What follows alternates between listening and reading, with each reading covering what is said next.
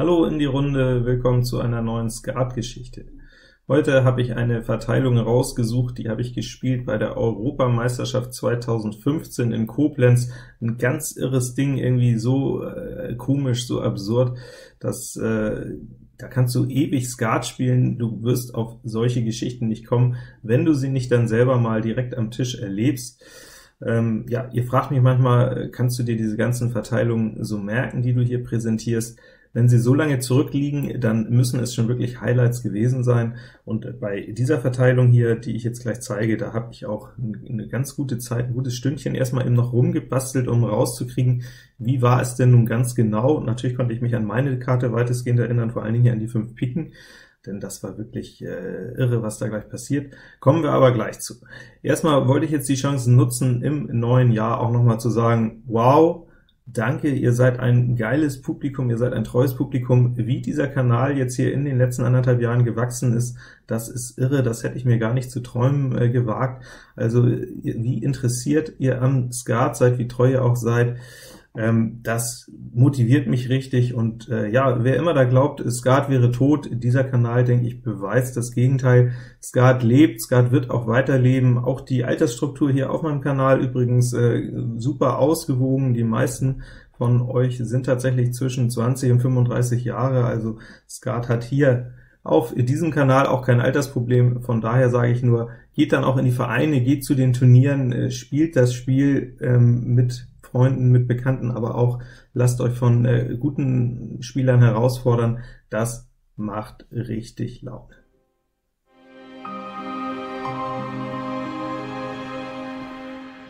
Dann kommen wir jetzt mal zu dieser Partie, gespielt von mir in der 14. Serie der Europameisterschaft 2015 in Koblenz. Ich war zu dem Zeitpunkt schon einigermaßen verzweifelt, kann man so sagen, denn äh, so eine Europameisterschaft, die geht über 15 Serien und danach sind die besten 16 im Finale, da will also jeder hin, und weil in diesen 15 Serien auch sehr spät erst gesetzt wird, werden typischerweise ziemlich hohe Ergebnisse gebraucht. Ich war da noch einigermaßen hinterher, braucht jetzt also in der 14. und 15. Serie noch gut 3000 Punkte, um das überhaupt zu schaffen zu können, also sehr gute Ergebnisse, und diese 14. Serie lief bis zu diesem Zeitpunkt irgendwann Spiel 35, 36 auch bestenfalls durchschnittlich.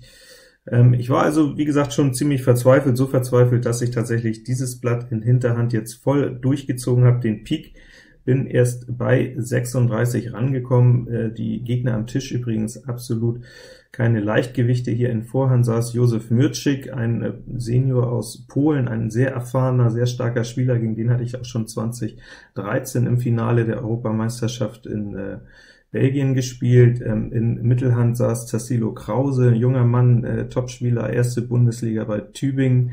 Also ich konnte nicht unbedingt auf Fehler bauen, ich habe eben einfach gehofft, dass jetzt hier was Gutes im Skat liegt, dass ich das Spiel noch mit dem sechsten Trumpf irgendwie verstärke und einfach das Spiel gewinne. Schon so eine Art Entscheidungsspiel, wenn man so will.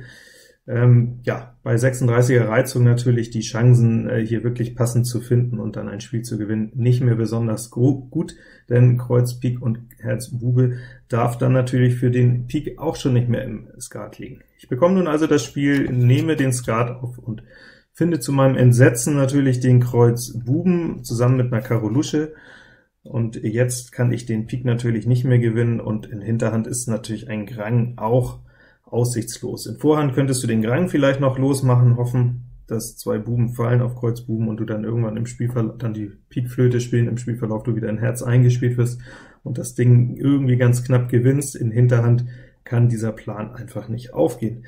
Ich habe jetzt also zu einem Verzweiflungsspiel gegriffen, ähm, was auch wirklich nur eine minimale Siegchance hat. Herz Ass gedrückt, Kreuz Bube und jetzt Null Ouvert mit der Fünferlänge Pik ohne 7. Logischerweise kann das Spiel, wenn überhaupt, nur gewinnen, gewonnen werden, wenn die Pik 7 blank sitzt. Es fehlen ja drei Piken, also wenn die Pik 7 mit einem Buben oder der Dame bestellt ist, dann kommt einmal Pik auf den Tisch äh, hoch, Bube, Dame, und danach kommt dann die 7 hinterher, nachdem spätestens nachdem dann noch ein Übergangszug gespielt wurde.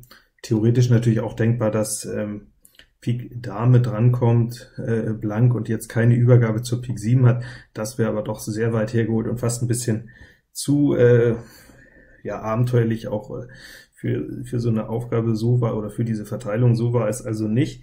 Pik 7 musste schon blank sitzen, und dann habe ich hier noch die kleine Baustelle Karo Dame. Das Ding kann natürlich auch immer fallen. Und jetzt gucken die beiden anderen in ihre Karten, und es dauert tatsächlich eine ganze Zeit. Das macht dir dann ja schon irgendwie erstmal Hoffnung, und dann liegt da plötzlich folgender Stich, Kreuz König, Kreuz Ass, und äh, ja, jetzt frage ich doch mal in die Runde, was sollten wir denn jetzt mit diesem Stich tun? Sollten wir Karo abschmeißen oder besser Pik?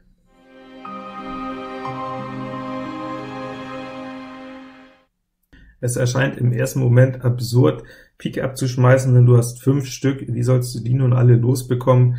Äh, mit Abwurf Karo Dame kannst du sofort die andere Baustelle klären und musst dann eben hoffen, dass es in Pik nicht geht. Also ich denke, Karo Dame abzuschmeißen, das äh, ist hier ein Zug, der sich im ersten Moment erstmal wunderbar vertreten lässt. Ich weiß auch nicht, ob wie viele da auch tatsächlich auf eine andere Idee kommen oder gekommen wären. Die Verteilung war nun wirklich äh, super abenteuerlich, super extrem. Ich zeige das jetzt hier mal einmal, wie die Karte saß. Das Lustige war nämlich, dass es tatsächlich keine einzige Übergabe zum Spieler in Mittelhand gab, außer eben äh, auf dem Kreuz Ass und theoretisch noch in der Karo 10, aber diese Übergabe in Karo sollte natürlich nicht gespielt werden, denn dann wäre Karo sofort kaputt gewesen. Es war tatsächlich hier die Pik 7 blank, und wer jetzt hier also gesagt hat, Karo Dame muss erstmal weg, wir sehen übrigens auch, Karo Ass König 9 sitzt hier hinter mir, scheint erstmal äh, euch zu bestärken, die ihr sagt, Karo Dame wäre hier die richtige Karte gewesen denn ähm, jetzt kann natürlich zweimal von hier Karo kommen, hinten nimmt Ass und König raus, und dann kann er die 9 spielen. Das wäre aber tatsächlich nicht das Problem gewesen, denn wie gesagt, die einzige Übergabe außer in Karo äh, war in Kreuz, und die wurde hier schon gespielt. Das heißt, Karo Dame wäre nicht das Problem gewesen. Wer sie jetzt tatsächlich abgeworfen hätte, der hätte sich jetzt folgendem weiteren Spielverlauf ausgesetzt gesehen. Es kommt, es hätte jetzt weiter Kreuz auf den Tisch kommen können, Jetzt können wir natürlich mal ab anfangen, Pik abzuwerfen. Der erste Pik wird abgeworfen. Die Gegner unverzagt ziehen weiter in dieser Kreuzfarbe die Karten raus. Ja, warum tun sie das? Weil dieser Spieler hier irgendwann mal seine Pik-Bilder abschmeißen muss, und das geht eben nur, in Kreuz einerseits, wo jetzt hier noch einer über ist, und es wird dann auch noch in Herz funktionieren. Herz König kommt weiter, Herz König, Herz Bube, ich muss bedienen, Herz Dame, Herz 10, ich darf bedienen, und jetzt wird in Karo die Übergabe gespielt, Karo 9, Karo 10, ich darf erneut bedienen, habe jetzt nur noch drei Piken und bekomme wieder die Möglichkeit, hier auf Kreuz einen Pik loszuwerden. Diesmal bin ich allerdings nicht der Einzige, auch Hinterhand kann jetzt Pik abtragen, und jetzt kriege ich noch eine Chance. Auf Herz darf ich noch ein weiteres Mal Pik abtragen, aber auch Hinterhand darf noch einmal abtragen, und jetzt sind wir im neunten Stich, und da ist das Elend passiert. Pik 7, Pik 8, hinten nur noch Karo, weil ich also im ersten Stich die Karo Dame abgeworfen habe, oder wer das getan hat, der verliert jetzt hier allen Ernstes im neunten Stich dieses Spiel nach so einem kuriosen Spielverlauf. Zum Glück, ich habe hier manchmal schon in äh, im Konjunktiv formuliert, zum Glück hat der Spieler in Vorhand diesen wilden Weg nicht gesehen und hat das Spiel direkt aufgegeben, äh, Mittelhand Tassilo hat das schon gesehen, der war ein bisschen ärgerlich und sagt, Mensch, spiel doch erstmal Kreuz aus, Kreuz König, erstmal gucken, was er macht. Und ich bin also um diese Entscheidung rumgekommen. Ich bin mir wirklich nicht sicher. Ich glaube ganz instinktiv Karo Dame. Ja, mein Gott, ich denke, ich hätte sie wohl gelegt. Und dann hätte ich mir hier hinterher anschauen können, wie sie mir das Spiel auseinandergepflückt hätten.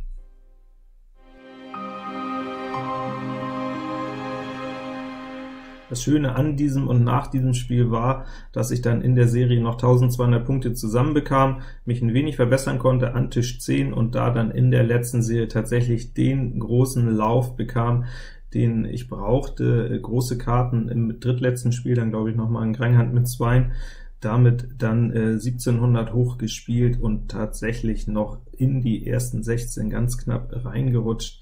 Das war also hier mein Brustlöserspiel und hat irgendwie einmal mehr gezeigt, es ist ein irres Spiel und du darfst beim Skat eben niemals aufgeben.